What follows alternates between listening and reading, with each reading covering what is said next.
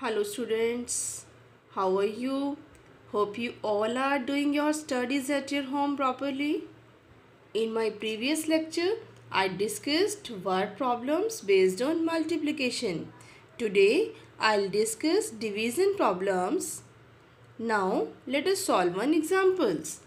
A box contains 144 pencils. How many boxes are needed to pack 1 lakh 80 pencils. If 144 pencils can be contained in one box, clearly to contain all these 1 lakh 80 pencils, we need more number of boxes. So, what should we do? We will write total number of pencils then number of pencils in one box. That is equal to 144 if I divide this total number of pencils by the pencils in one box I will get the number of boxes needed. So I will divide 1 lakh 80 by 144 let us do the division now. For the multiples of 144, I will make the table of 144 first. I have written the table of 1, 4 and 4. Now with the help of this, I will make the table of 144. First will be 288, then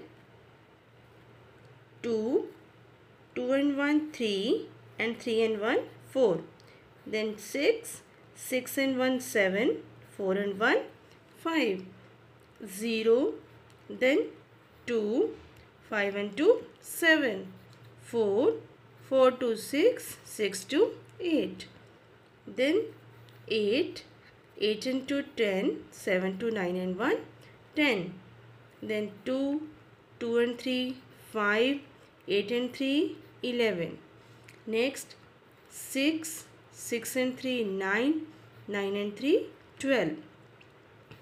0, then 4, then 10 and 4 14. Now let us use these multiples. 144. As 100 is less than 144, so I will have to use these four digits eh, together. Now look here, this number is less than 1000 that is a sixth multiple of 144 so I will write here 8 6 4 now subtraction. 10 minus 4 6 9 minus 6 3 and 9 minus 8 1 now note down next number. 1368 now see which number is less than 1368 this is only 1296 so write this number here. 8 minus 6 2 16 minus 9 7 2 minus 2 0 now note down your next number. 720 this is the fifth multiple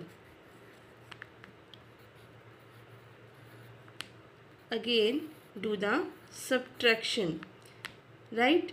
So the number of boxes needed is 695 now today you will solve question 1 do question 1 C D and E part of worksheet 4 of chapter 2.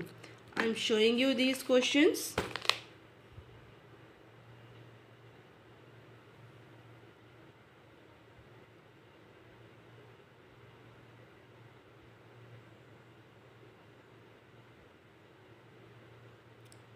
Fine. Thank you.